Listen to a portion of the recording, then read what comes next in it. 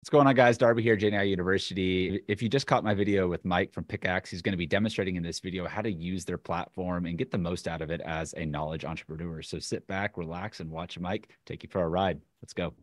Hi, I'm Mike, one of the co-founders here at Pickaxe. I'm here in the Pickaxe offices. Very simple, besides whiteboards, as you can see as is usual for startups. And I'm really excited for you to learn more about Pickaxe and how you can use AI to scale your businesses at the Scale with AI Summit. We think AI is a really awesome opportunity for knowledge entrepreneurs or anyone who's in the business of selling consulting, coaching, marketing, knowledge. Uh, AI is a wonderful way for them to scale their business to be much bigger and more powerful. And that's why on our homepage we say, scale yourself we think AI is a great way to do this. So I just was going to give you a quick tour of the product and what you can do with it and kind of explain the ins and outs of it for anyone interested. So here we are on our homepage and we're actually looking at a pickaxe. A pickaxe is an AI tool that you can build on our platform with no code. This little chat box here, believe it or not, is a pickaxe that we made and it will help you create tools. It's kind of an automatic AI builder. So if you wanted to, you could talk to it and it'll expand into a chat. And it'll start asking you some questions about yourself. Uh, I actually made this one myself, and it will ask me what my job is, my profession, if I have any documents or videos about how I do it, and then it will actually make me a pickaxe that I can just uh, that'll get emailed to me that I can then put into my account. Uh, but for today, I'm going to show you how to do it from scratch because it'll be a lot more nutritious and a lot more informative for you. So there's a couple elements to the product. You can create tools, you can then launch them, deploy them like the way we did here, and you can even sell them. We have a whole storefront feature and sort of sell them as a micro SaaS product. To, to start though, I'm going to show you the builder where all our tools start from. And we're going to build a chatbot together, a simple chatbot. So here we are in our no code builder. It's pretty simple. On the left hand side here is where you can uh, build the tool, configure it, change settings. We have a place to write a prompt, a place to sort of upload documents and make your tool, train your AI, and even a place to connect API actions over here. You can connect pre-existing ones. You can also even build your own. And if you're comfortable coding, we even let you write little scripts to code. Though the whole platform is intended to be no code friendly. And then over here, you can always test your chatbot. Uh, at any moment, as, as you make changes, you can test it right here. So let's build one together. We'll make a very simple one. This one will just be sort of, uh, we, we, can do a pickaxe assistant. This will be a little thing that can answer questions about pickaxe. So we'll call this our test uh, pickaxe assistant. And over here, we're gonna start by writing a prompt. And if you've used ChatGPT or most you know LLM products, you should be familiar with what a prompt is. It's just instructions for an AI written in clear language. And there's no right or wrong way to do this. This is not a coding language. You can do it any way you want, but usually the more clear, the better. It doesn't even have to be English. It can be any language because these things are multilingual out of the box. So we'll say you are a helpful assistant that uh, answers the user's questions about the AI company Pickaxe. You speak in a plain, friendly tone. Great, so this is kind of the bare minimum. We can already start testing this tool out. All we did was add a couple sentences. Now we're gonna add a lot more, but this is what we're gonna do. And here we can always swap out the model that's running it. There's OpenAI models, Mistral models, Claude models. We'll use GPT-4o. It's the most recent uh, model from OpenAI. And we'll just say, hey, we'll ask, what can you tell me about Pickaxe? And something's gonna happen here. Um, this is actually kind of right, but it's kind of missing a lot about Pickaxe. And that's because Pickaxe is not in the training data very much for the tool. It's probably scraped some information about Pickaxe, but a lot of the intricacies of Pickaxe are not in there. So we're going to have to train the model a little bit. But luckily, we make this very easy. So we're going to go over to the Learn tab. And here we can add uh, pieces of knowledge to our chatbot. We can add files. So, so let's add one. We're going to add this um, Pickaxe pitch deck, which is kind of a, a pitch deck about what Pickaxe does. And here you can upload all types of files. You can upload PowerPoints, you can upload PDFs, you can upload TXT files, you can even upload CSV files. Though I'd be careful with that because you know the sometimes people's cells are all over the place. But as long as it's clear what's going on, the AI can read it.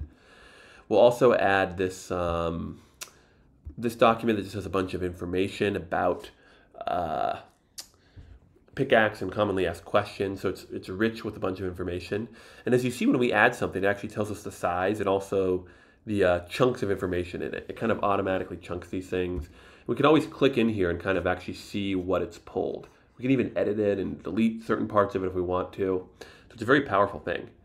And uh, that's great, but we can also even add web pages. So we could add, um, let's YouTube link, let's add, we, we could add the pickaxe uh, homepage and we could enter it here and it would just scrape all the associated pages. This takes just a little bit of time. It, will grab all of the related pages from that domain, and then we can just instantly add them as documents to our thing. So grab all these sorts of things. But I actually don't want to add these. Um, I want to show you, I'm going to add this YouTube video and show you that. If you put, put in a YouTube video here, it actually um, visits the YouTube video and then grabs the audio transcript, if it has an audio transcript and then throws it in here. So there's all sorts of ways to add cool information. And then here is like some kind of advanced settings about how you want to configure all of this. You can, um, we won't really get into most of it, but, but it's interesting stuff. And it's all about giving you easy control over the thing. Like, for example, if you put in a website, you can decide whether it revisits the website every 24 hours, every week, every month, or never to re-grab the information. So there we have the YouTube video, you know, this this is a this is literally me saying, "Hi, today I'm going to teach you." Blah blah blah.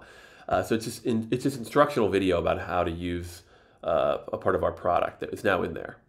Um, so now we can say, "Hey, how do I make a studio with pickaxe, and what does a studio do?"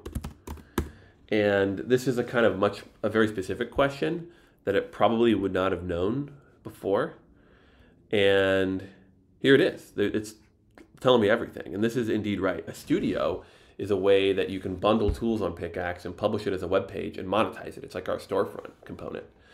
Um, there's lots of other cool stuff you can do here. You can let people upload files. Notice when I click this, it lets them do that. You can let it generate images, uh, all sorts of stuff. And you can even, if you're more advanced, you can go into the Act Builder and you can start to connect it to Make.com, Zapier, there's all sorts of stuff in here. If we click here, you'll see that there's like a whole library of these actions that you can use. Um, but for the purpose of this, I'm just going to kind of go through this. Um, and now this is a very basic tool. On average, people spend about like 8 to 11 minutes in our builder kind of like tweaking this. Some people spend a lot more time. Um, but I like this. So this is, for what we got today, this, this is perfect. We can even add a little intro message here. We could just say, hey, uh, ask me any question about pickaxe you have. And if we like this, we just hit continue. There's a whole page here to like kind of help you brand this. Like, you know, you probably don't want to use the pickaxe logo, so you can upload your own. You can uh, change the.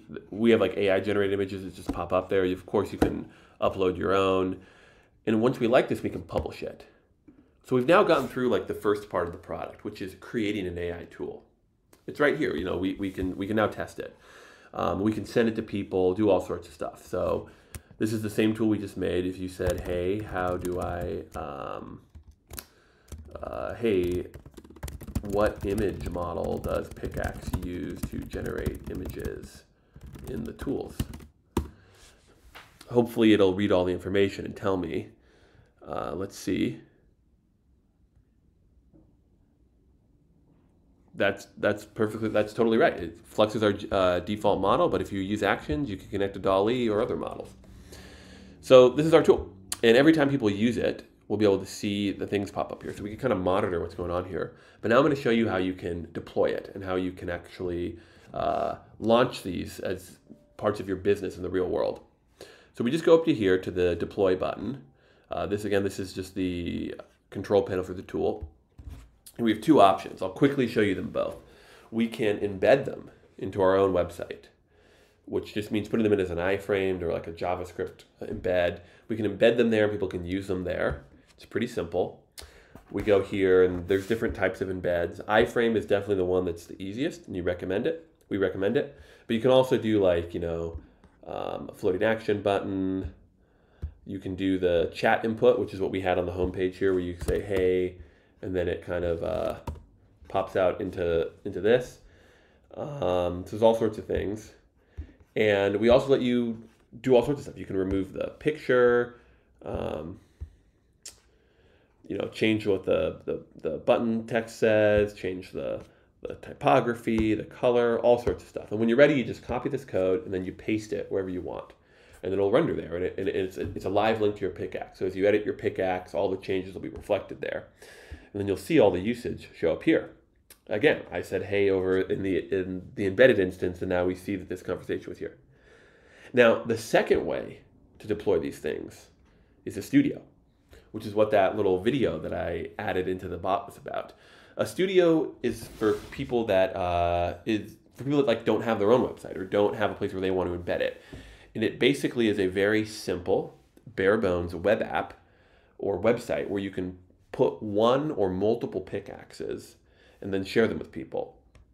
And it has some bare bones um, functionality for monetizing and uh, registering users. You can register users and monetize and set prices and all sorts of stuff. So here's an example of one I made, uh, kind of for internal use, but tons of people actually use it though. It's uh, for, for students. And here we can kind of see everything we, that we'd want to do to design a studio. Uh, though before I get into this, I'm going to quickly show you some examples of ones so you can kind of have a concept of what these are. Here's one where you know there's a landing page for this thing that uh, helps people with their Stata workflow. This is a pretty popular studio. It makes hundreds of bucks, and it's basically just some AI tools built around uh, this very specific niche of, of Stata. And you know, they explain what it is and they have all the tools here and, and you know you can try them and then here's their pricing models here's the inside of a studio this is a bible verse studio and what this is is it's basically a, a collection of tools that help people with uh, bible study related stuff and this is a very popular one too this one also makes hundreds of dollars and um, it just has all these tools built around very specific things, like a Bible reading plan generator, Bible chapter study thing, and and yeah, this is what the inside of it looks like. Here's one that's all built around images. Um, helps them create these like kind of coloring book things. You actually can't even try these tools if you don't have an account or aren't paying. This is their kind of pricing tier. You can try it once for free. After that, you got to pay five dollars a month or fifty dollars a month. Um, and here's one for a collection of tools that help people uh, with dating apps. So this one you like add a photo, a photo or an image, and it looks at it and helps you write pickup lines, these sorts of things. So those are some quick examples of studios. This is what it looks like when you manage a studio. So here we have all the pages, right? We have our landing page. We have all the individual tools. These are just three tools that are all around Shakespeare and poetry. It's kind of for like high school English students. Um, there's one that analyzes poems. You just paste them in. One that helps you find Shakespeare quotes. And you know you can always add more tools. You can add a, a page that's not a tool, just like a page that has text or embeddable videos on it. You can add folders to organize things under. Um, and then you can control all the sort of things you'd want from the landing page to the pricing page to you know the sort of CTAs, the call to actions that people get across the thing to sign up, to log in, to sign up. Like when they run out of uses, this is what they said. You know, you might say you need to buy more uses to do that, right? So we, we really give you the ability to customize all parts of this. And one way to think about this is we let you build a very simple ChatGPT wrapper app or AI wrapper app. Um, you can't do everything, but all the things that would be important to running that, you can do here. Um, so we have all sorts of stuff to do here. Then beyond that, we have the ability to sort of like change a bunch of small design stuff. Again, like color, typography, buttons, uh, all sorts of stuff, like white labeling it, changing even the language of everything, adding images, all sorts of stuff. Uh, and then you can also monitor what people are doing here. Now, this isn't a monetized studio, so I don't uh, have any money coming in. I think it used to be, so there's two paid subscribers there. But you can kind of see at a high level all the people here. Um, I'd click and show you all the users, but then you'd see all their emails. So I won't do that. But uh, you can kind of see a high level overview of all the usage here. And you can also change all the tiers here, right? So you can make it public, invite only. You can change if people are paying for a subscription, if it's a one time payment, if it's free. Uh, you can add new tiers, you can change the usage, you can change the prices. Again, pretty much everything that you'd want to do to uh, run a simple ChatGPT wrapper app. So that's a quick overview of the three main pillars of our product. You can create AI tools with no code, connect them to other APIs, add documents in them, all sorts of stuff. Then you can launch these tools as either a embed on your own website or a standalone web app, which we call Studio. And then finally, you can monetize these tools. You can sell them and then run it as a business and monitor what people are doing with them. And we're constantly adding new features to all three of those pillars. We kind of like jump between the two. Right now, we're adding all sorts of extra functionality into the builder, making it more powerful. But then soon we'll add a lot of functionality into making the, the studios cooler and easier to monetize and all sorts of stuff. And if you're curious about any of these uh, parts of the product, if you're curious about Pickaxe, I suggest checking out our blog, but probably more importantly, going to our community forum. And this is also a big part of what Pickaxe is, which is we're not just a product, we are a big community of pioneers in this space. So we really, uh, our ambition is to be the home of the internet for people that are launching these uh, no code AI businesses for solopreneurs and knowledge entrepreneurs. So we have a place where people talk about the actions um, and connecting them. And we have a lot of people that build their own actions, like these API integrations, let other people use them. We have a place to uh, report bugs, of which there are many, but we're all, we're very quick to fix them because we're always building and improving this. We have a place for people to request features. We have uh, a place where people just post general questions about the or general questions or comments about things. We have how-to guides, we have prompt help, we have questions, all sorts of stuff. Um, so really, this is also what we consider a key part of our product, actually, which is a community, a place to meet other people that are doing this. Um, and we have all sorts of interesting events and material around that. So I hope this was a helpful kind of tour of Pickaxe.